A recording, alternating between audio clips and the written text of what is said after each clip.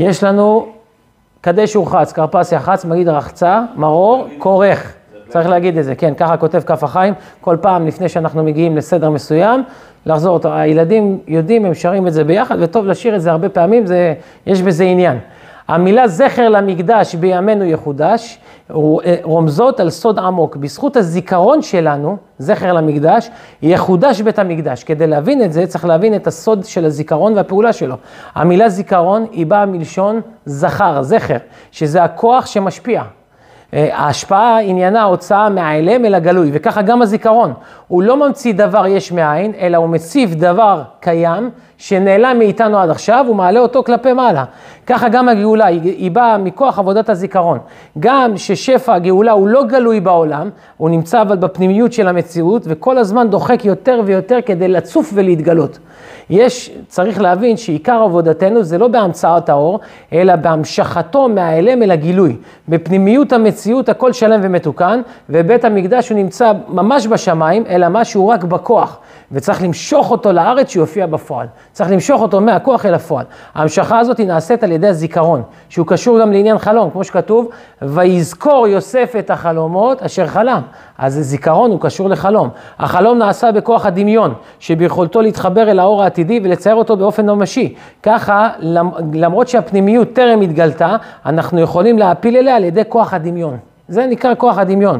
אנחנו יכולים לדמיין את בית המקדש, אנחנו יכולים לדמיין את עבודת הקורבנות, איך נראה הכהן הגדול ביום הכיפורים, שירת הלוויים, המכ"מים, המכ"מים זה שירת הלוויים, אה, את שמחת בני ישראל בבית השואבה, איך היו שם זורקים את כל, אה, אה, את כל האבוקות אש והיו עושים חגיגות, ריקודים של גדולי האומה, את המציאות המתוקנת שאין בה רשע וטומאה. אפשר לדמיין את זה. הדמיונות הקדושים האלה מרוממים, מרוממים את האדם מההווה הלקוי ומחברים אותו אל העתיד לבוא. ככה הרוח של האדם מתרוממת מעל החסרונות שבמציאות הנתונה ומתמלאת אור מהעתיד שהוא הולך ו- ומתקרב. דמיונות קודש על הגאולה, בפרט כשהם מלווים בניגון ומלאים געגוע ועורגה, הרי הם פועלים פעולה גדולה ועמוקה. זה כוח המדמה. ראשית כל על נפש האדם, לחבר אותו בצורה חיה וממשית אל העתיד, ודבר שני, מתוך זה מתגבר רצון האדם בתפילה להשם. הוא רוצה שזה כבר יקרה. אני רוצה את בית המקדש, אני רוצה את עבודת הלווים. כשהוא מדמיין את זה, מה זה גורם לו? זה גורם לו להתפלל לקדוש ברוך הוא. והפעולה שלו עולה לשמי מרום להמשיך את אור הגאולה אל הפועל. הפעולות האלה לוחמות בשכחה, בייאוש ובהסתגלות למצב ההווה. ככל שהמדרגות העתידיות הולכות ונזכרות יותר, הן מתקרבות יותר אל, אל המציאות המעשית. וככה אנחנו קוראים במגילת אסתר, נזכרים, הימים האלה נזכרים, ועל ידי זה שהם נזכרים, הם גם נעשים.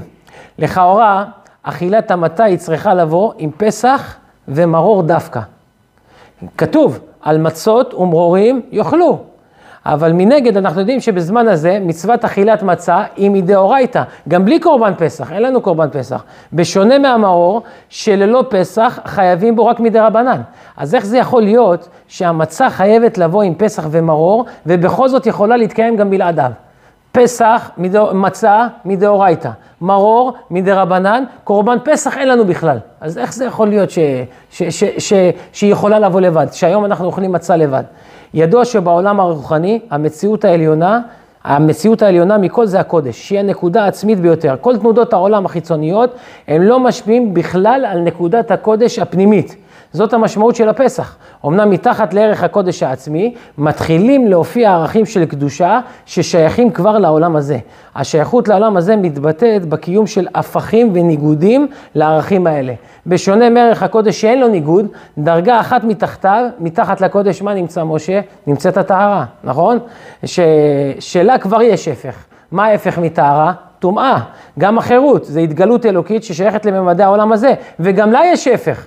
מה ההפך שלה? זה העבדות. כשהקודש יורד כדי להופיע בעולם, הוא מתחיל להצטמצם והוא נעשה עלול להיפגע. כמובן הפגיעה היא בממדים החיצוניים בלבד, רק שמה יכולה להאחז הטומאה.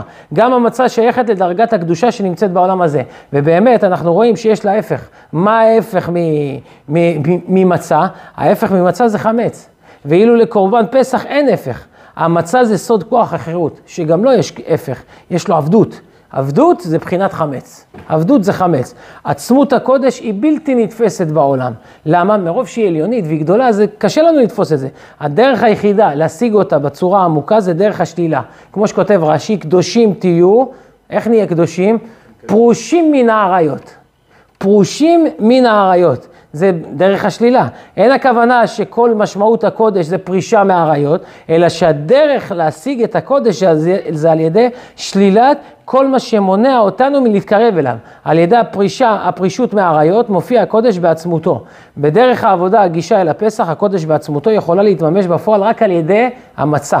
מצה זה שלילת השיעבוד. ברגע שהשיעבוד נשלל, יכול האור של הפסח להופיע בו. גם המרור קשור לשלילת השיעבוד, כי אם אדם חש מרירות בעבדות שלו, ולא טוב לו איתה, זה עדות שבנשמה שלו הוא מה? הוא בן חורים. בגלל זה מר לו, בגלל זה קשה לו. אז גם המרור קשור לעניין הזה של החירות. לכן מצוות מצה היא מדאורייתא גם בלי קורבן פסח. היא מדאורייתא, מפני שפעולת היציאה מהעבדות, גם בצורה שוללת, היא כבר גונזת בתוכה את ערך הקודש. ואם האדם מדבר על חירות, אז סימן שיש בו נקודת קודש, נשמה אלוקית, גם אם היא לא התגלתה. בזמן הזה, כשאין לנו קורבן פסח, אנחנו מגלים את אור החירות בלבד, באמצעות המצה, אבל דרכה אנחנו נקשרים גם לאור הפסח, שזה נקודת הקודש שהיא תמונה איפה? תמונה דווקא במצה.